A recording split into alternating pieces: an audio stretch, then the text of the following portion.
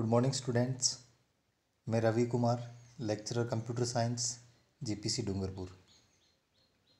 आज के इस वीडियो में हम पढ़ेंगे PHP and My S Q L C S तीन सौ दो दस सब्जेक्ट में My S Q L chapter और इसमें हम सीखेंगे डेटाबेस और टेबल्स है वो My My S Q L में कैसे बनाएँगे। डेटाबेस क्रिएट करते हैं तो हम जो लॉजिकल डेटाबेस डिज़ाइन होती है, इसको मॉडल करते हैं फ़िज़िकल डेटाबेस में। डेटाबेस क्रिएट करने के लिए क्रिएट डेटाबेस कमांड काम में आता है। इसको हम एक एग्जांपल से समझते हैं। ये कुछ इस तरह से रहेगा। Root at the rate host has My S Q L admin minus U space root minus P create polytechnic enter password हम पासवर्ड एंटर कर देंगे। पॉलीटेक्निक नेम से हमने एक डेटाबेस क्रिएट किया है।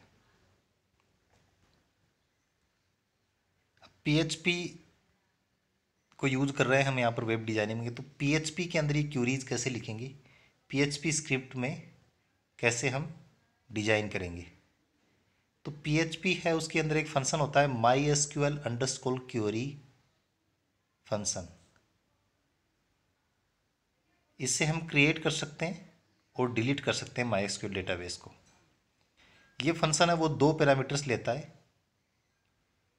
और रिटर्न करता है ट्रू या फॉल्स अगर सक्सेसफुली डेटाबेस क्रिएट हो गया, तब तो ट्रू रिटर्न करेगा और अगर डेटाबेस क्रिएट नहीं हुआ फेल हुआ, तब फॉल्स रिटर्न करेगा.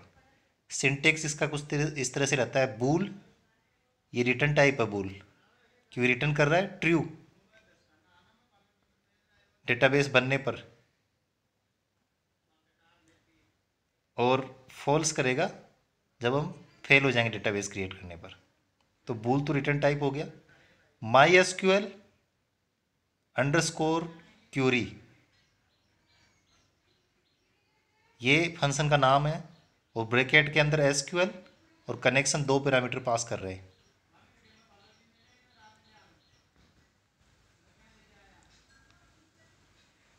एस है, वो है एस क्यूरी जो हम क्यूरी लगाएँगे। डेटाबेस क्रिएट करना है या डिलीट करना है। ये पहला पैरामीटर रहेगा, पहला पैरामीटर में क्यूरी रहेगी। दूसरा पैरामीटर है, वो कनेक्शन का है, ये ऑप्शनल रहेगा। अगर हम इसमें स्पेसिफाई करते हैं, तब तो कनेक्शन एस्टेब्लिश होगा। और अगर नहीं करते हैं तो पहले से जो कनेक्शन एस्टेब्लिश्ड है, वो काम में आ जाएगा। पीएचपी स्क्रिप्ट में कुछ इस तरह से लिखते हैं H T M L head और टाइटल रहेगा creating My SQL database body के अंदर आ जाएगा। अब बॉडी में आ गया। पीएचपी का जो स्टार्ट होगा, वो इस तरह से होगा। Less than question mark PHP अब इसमें वेरिएबल्स बनेंगे। पीएचपी में वेरिएबल बनते हैं डॉलर और नेम तो डी बी होस्ट इसमें स्ट्रिंग में पास कर देंगे local host colon three zero three six D B user रहेगा अपना रूट और डी बी पास रहेगा G P C D P R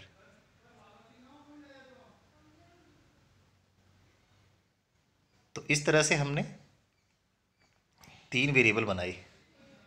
चौथा जो वेरिएबल है, उसमें जो फ़ंक्शन रिटर्न करेगा My S Q L underscore connect इसमें पहला पैरामीटर डी बी होस्ट दूसरा डी बी यूज़र तीसरा डी बी पास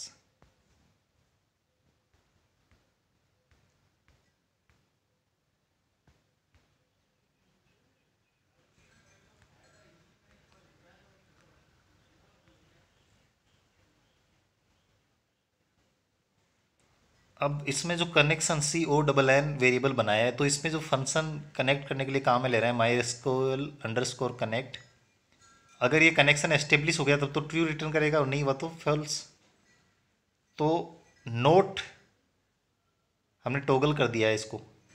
इसका मतलब कनेक्शन एस्टेब्लिश नहीं हुआ, तब रिटर्न क्या करेगा? फॉल्स और फॉल्स को हमने टोगल कर दिया तो ट्रू हो जाएगा। तो यहाँ इफ़ में कंडीशन ट्रू हो जाएगी कनेक्शन एस्टेब्लिश नहीं हुआ तो।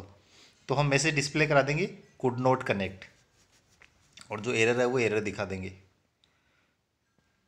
और अगर एस्टेब्लिश हो गया, तब प्रिंट हो जाएगा कनेक्टेड सक्सेसफुली उसके बाद में हम एसक्यूएल क्यूरीज लिखते हैं। तो एसक्यूएल क्यूरी हमने एक वेरिएबल बना दिया डॉलर एस और इसमें क्यूरी लिख दी हमने क्रिएट डेटाबेस और डेटाबेस का नाम क्या रहेगा? पॉलिटेक्निक तो पॉलिटेक नाम से एक क्रिएट डेटाबेस हो जाएगा। अब डेटाबेस बनेगा या नहीं बनेगा उसको चेक करने के लिए हम क्या करेंगे? फ़ंक्शन लगाएँगे। My S Q L underscore query उसमें पहला पैरामीटर पास कर दिया। क्रिएट डेटाबेस पॉलिटेक्निक जो क्यूरी हमने स्टोर की है dollar S Q L variable में। और दूसरा है डॉलर कॉन जो ऊपर हमने कनेक्शन एस्टेब्लिश किया है।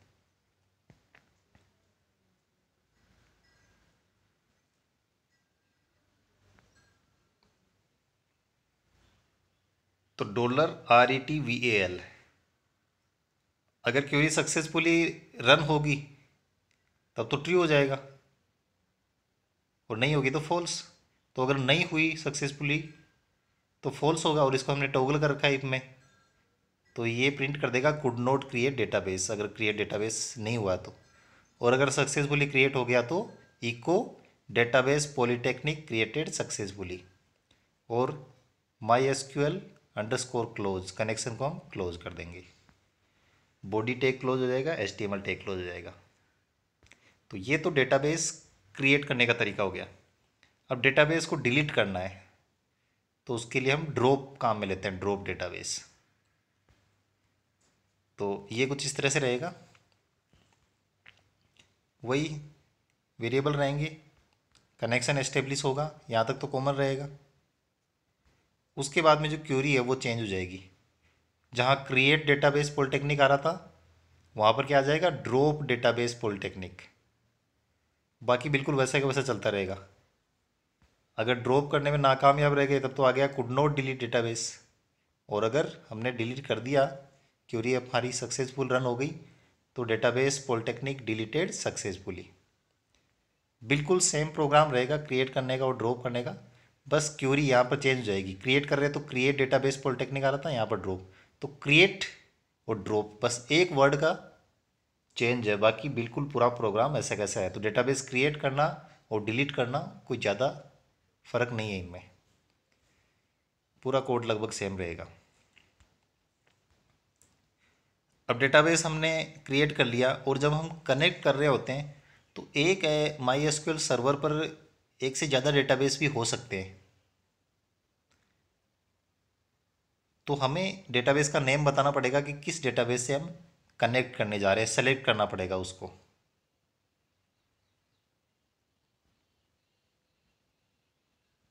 वो डेटाबेस के जो नेम्स हैं टेबल के नेम हैं टेबल का फ़ील्ड के नेम है, वो सारे क्या होते हैं? केस सेंसिटिव होते हैं।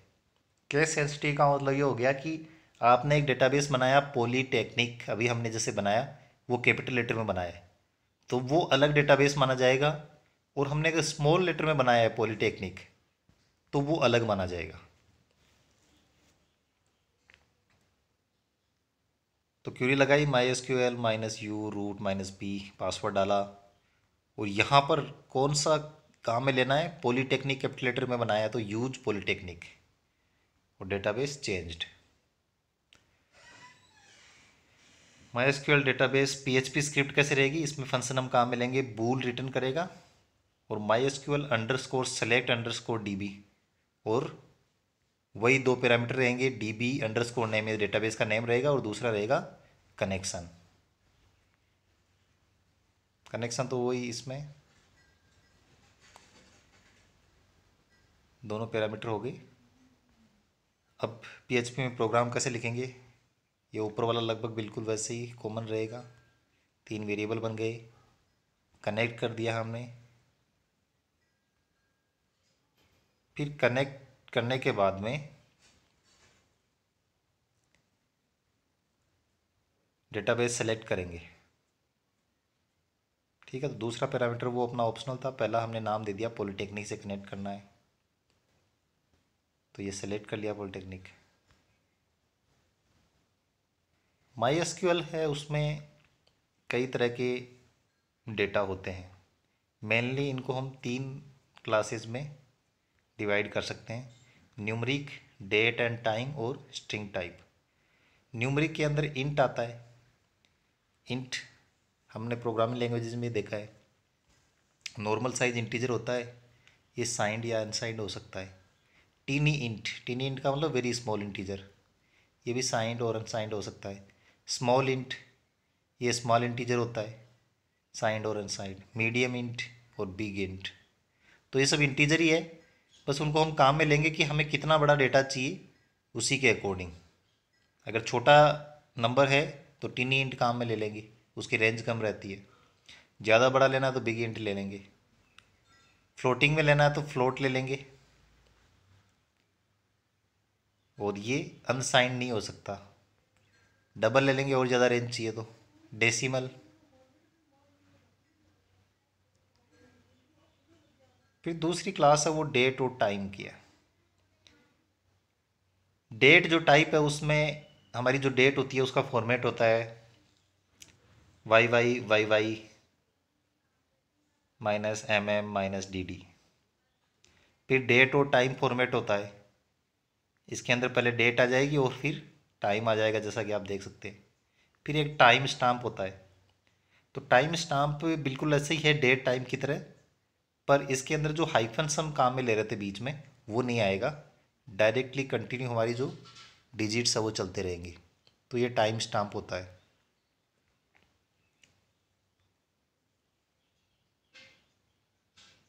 टाइम टाइम लेंगे तो H H colon M M colon S S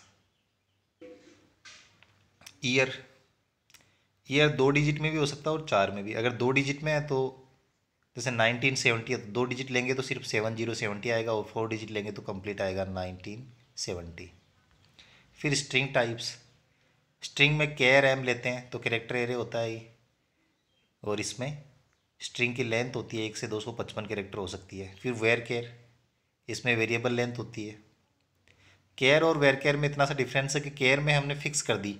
कि सौ कैरेक्टर लेना है। तो उसमें अगर अगर हमने दस कैरेक्टर काम में लिए तो भी नाइन्टी जो कैरेक्टर की स्पेस है, वो रिज़र्व रहेगी और हमारी किसी काम की नहीं रहेगी, क्योंकि हमने सौ कैरेक्टर रिज़र्व कर लिए थे और काम में सिर्फ़ दस ही लिए। लेकिन वेयर केयर में क्या होता है कि अगर हमने उसको साइज़ सौ दे दी, लेकिन हम काम में ले रहे हैं सिर्फ़ दस तो बाकी बची हुई नब्बे हैं, वो कहीं दूसरी जगह हम काम में ले सकते हैं। तो हम ज़्यादातर वेयर केयर ही काम में लेते हैं। फिर ब्लोब और टेक्स्ट ये मैक्सिमम लेंथ पैंसठ हज़ार पाँच सौ पैंतीस होती है। ब्लोब होता है वो बाइनरी लार्ज ऑब्जेक्ट्स और यूज़ किया जाता है large amount of binary data use करने के लिए। जैसे कि कोई इमेज होती है या कोई फ़ाइल होती है उसको सेव करने के लिए ब्लोब काम में लेते हैं। और टेक्स्ट होता है, वो लार्ज अमाउंट ऑफ़ डेटा को स्टोर करता है टेक्स्ट में। दोनों में डिफरेंस इतना ही होता है कि सोर्स और कंपैरिजन होता है स्टोर डेटा वो केस सेंसिटिव होता है ब्लोब के अंदर। और जो टेक्स्ट है उसमें केस सेंसिटिव नहीं होता है। हम ब्लोब और टेक्स्ट में लेंथ है वो स्पेसिफाई नहीं करते हैं। इनम इनम एक लिस्ट ही होता है, बस लिस्ट का ही एक दूसरा नाम है इनम अब टेबल्स हम कैसे क्रिएट करते हैं? टेबल क्रिएट करने के लिए हमें ज़रूरत पड़ती है टेबल का नाम, उसमें फील्ड्स जो होंगे, जो कॉलम्स होंगे, या एट्रीब्यूट्स बोलेंगे, उनका नाम और डेफिनेशन रहेगी हर एक फ़ील्ड की। एस क्यू एल सिंटेक्स कुछ इस तरह से रहता है क्रिएट टेबल टेबल नेम फिर ब्रैकेट के अंदर आएगा कॉलम नेम और कॉलम का टाइप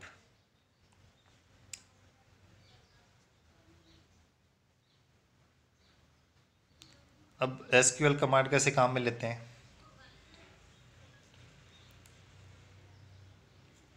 इसमें जैसे पहले ऊपर देखा हमने my S Q L minus U root minus P password डाल दिया।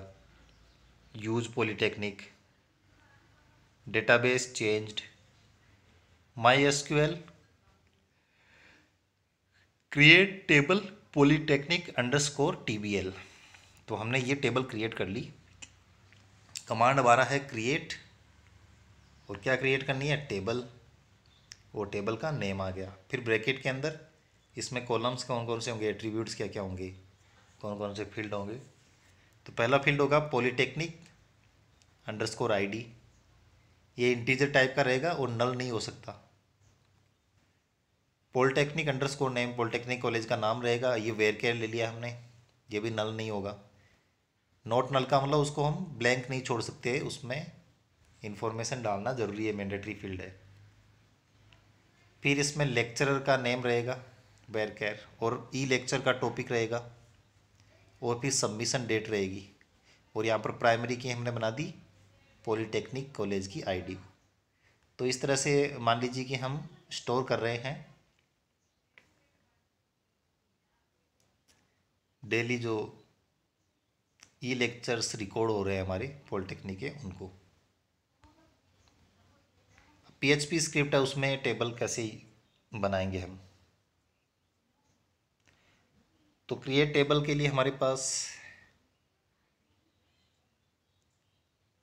फ़ंक्शन होता है पीएचपी में my S Q L underscore query इसको हम काम में लेंगे। बिल्कुल पहले जैसे कोड था, वही चलता रहेगा। My S Q L underscore connect could not connect connected successfully अब यहाँ पर हमारी क्यूरी है वो चेंज हो जाएगी सिंपल सी बात है। क्यूरी यहाँ पर आएगी create table polytechnic underscore table और फिर स्ट्रिंग्स के अंदर डालेंगे इनको। तो polytechnic ID int not null polytechnic name lecture name E lecture topic submission date